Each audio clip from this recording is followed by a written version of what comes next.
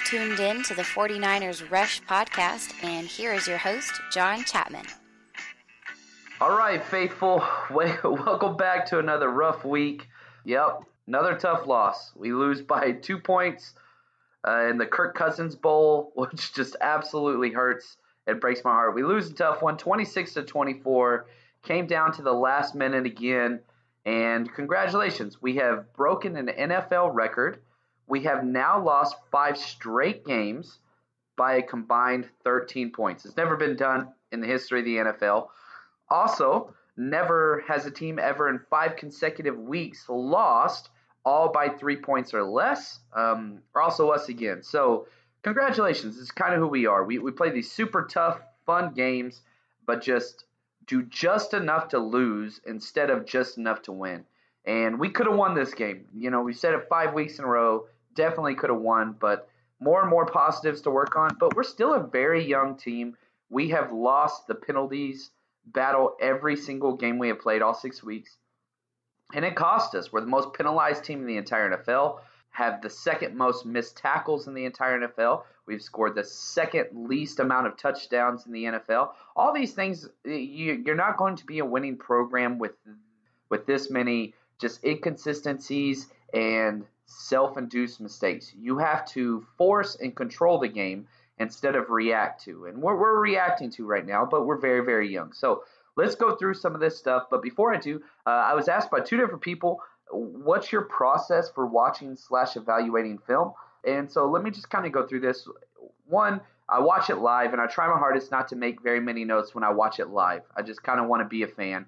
After that, it usually takes two to three hours for NFL Films, the Game Pass, to get the film uploaded, and they do a condensed and a full version. So once that happens, I go back through and I watch it all over again, full time, but it cuts out commercials, a lot of the dead breaks, so it goes relatively quick. It's about an hour and 20 minutes.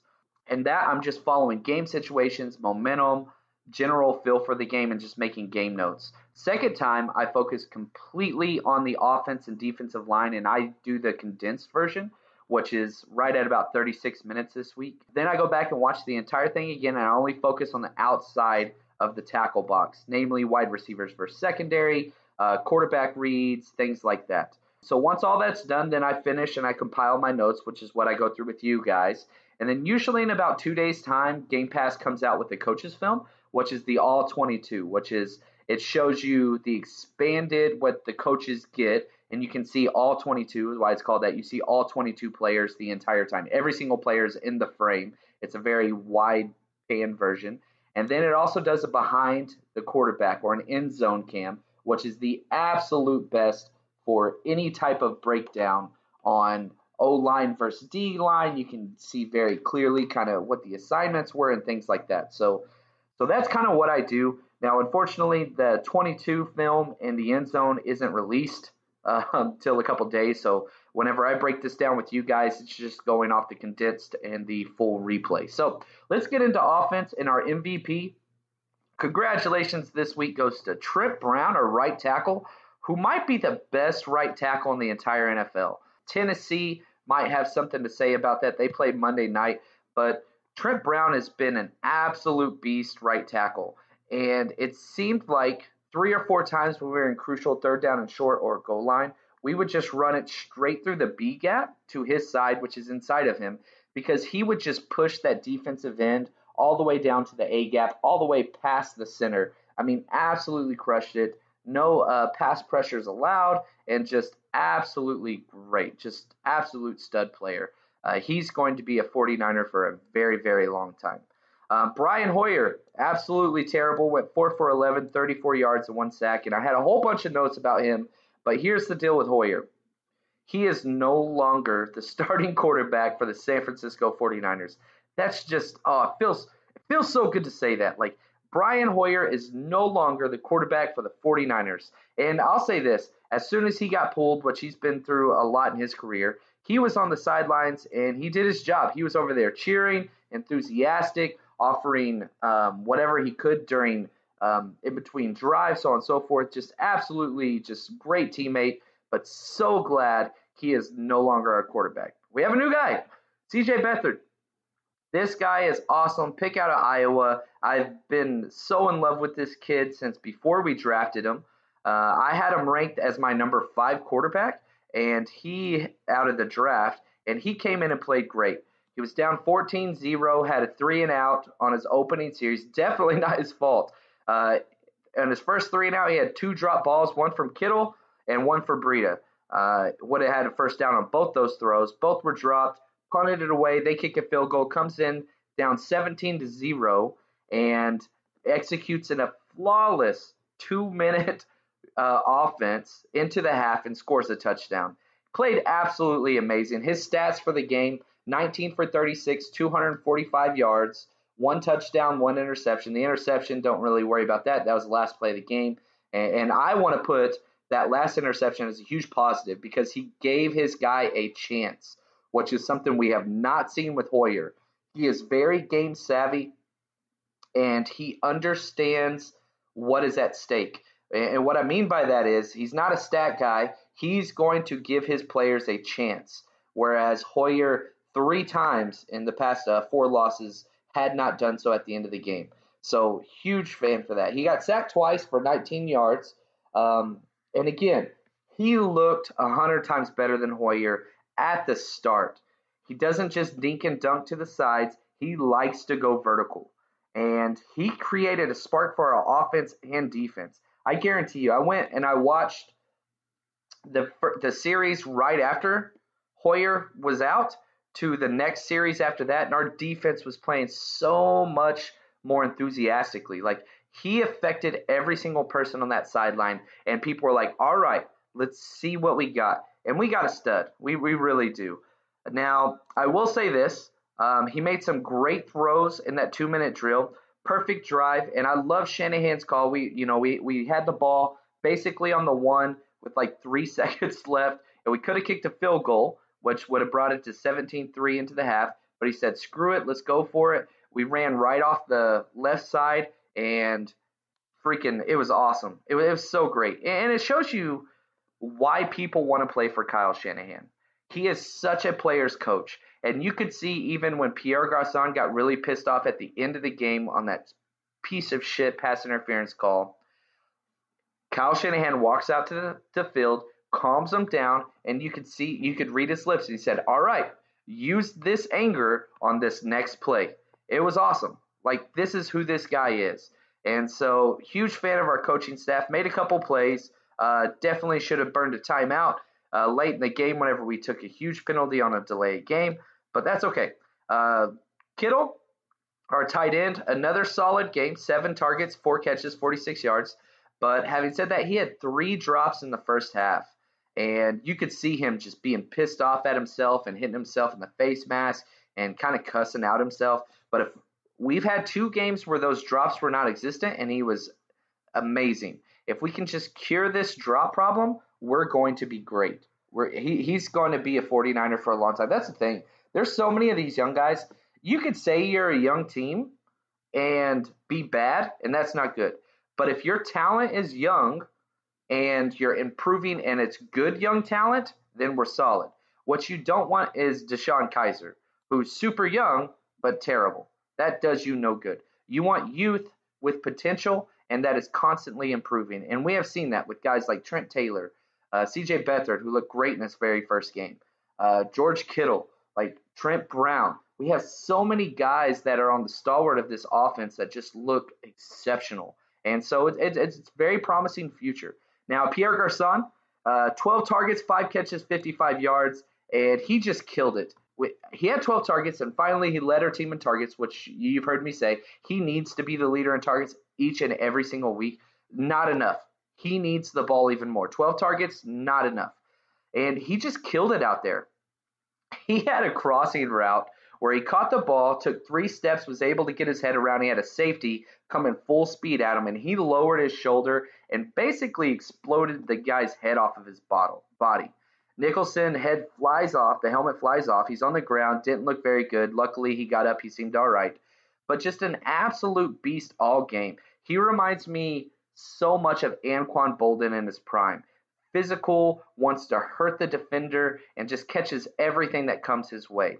The catch off of a tipped ball late in the fourth quarter was where he caught it, fell down to his knee. They ruled it incomplete, reviewed it, came back, said it was a catch. That would probably be any so many other wide receivers' best catch of the year. So far, that's his fourth best catch of the year. I've gone back and watched his highlights and from documenting him in the past. That was his fourth best catch this year. The guy has just been a freak. And that, like I said earlier, that that pass interference call at the end was so much trash. That was such a terrible call. Uh, I was very pissed off. It could have cost us the game. I, I, don't like to blame things on the refs. Uh, they're going to be good and bad calls on both sides, but that was that was horse crap. Carlos Hyde looked okay, not great. 13 rushes, 28 yards, but he had two touchdowns. Two touchdowns. Uh, six targets, five catches, 47 yards. He bobbled a couple passes, but still brought him in. Wasn't super efficient like we saw in the first four games, but still got it done when it counted and kept us in the game. Ran really, really hard, but it was eight and nine man boxes every single play. We have got to get them to respect the deep ball. And if we can do that, then he's going to see more yards. But you can see this, and I can see why Shanahan keeps putting in Matt Breida, is when Hyde goes out, they pull back to two high safety look. When Hyde comes in, they roll that safety into the box every time. And so there's this huge difference between the fronts that these guys are looking at. And they even said this whenever they were meeting the production team, whenever they were meeting with Washington's defensive coordinator, they said, We've got to start Carlos Hyde. He's the number one key that we're looking for. And so they're keying on that. Uh, Breida looked great. There was one point where he had four straight touches in the third quarter. He had a great catch on a 10 yard stop, uh, just kind of twisted his body midair and caught it with his hands. Looked great. O line was great throughout the entire game. Run blocking's weak, and we've said this before. Fusco is awful. He's a glaring weakness that single handedly crushed our running game. They would load up on him and slant one way or the other, and he couldn't do anything. He, he's absolutely terrible. We are a guard away from having a top 10 offensive line, and that is just. That doesn't even make sense. Laken Tomlinson's been solid since he came over in that trade, and that's all we need out of him is solid. If we get solid out of our center and our guards, we are great because our tackles are second to none. They are so good. Now let's jump over to defense. Our MVP of the defense, and this is so good to say, Solomon Thomas, first round draft pick, showed out and completely manhandled several different men, including ex 49er Vernon Davis. Uh, Vernon Davis is having nightmares tonight for what Solomon Thomas did to him in the run game. Nine tackles, seven solo tackles, one sack, and two tackles for loss. Absolutely great. Pressure early. Uh, forced Cousins on a missed throw. Again, I said he had a sack. We only had one sack this game. You are not going to win football games if you are only getting one sack. That is inexcusable, but Solomon Thomas did his job. Um, let's see here. On third and one, it was great.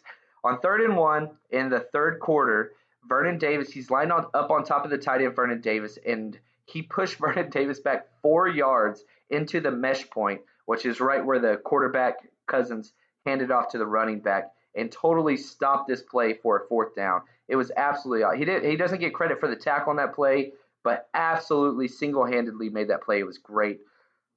Jaquiski Tartt was okay. He makes lots of flash plays, positive and negative. Six tackles, four solo, and a tackle for loss.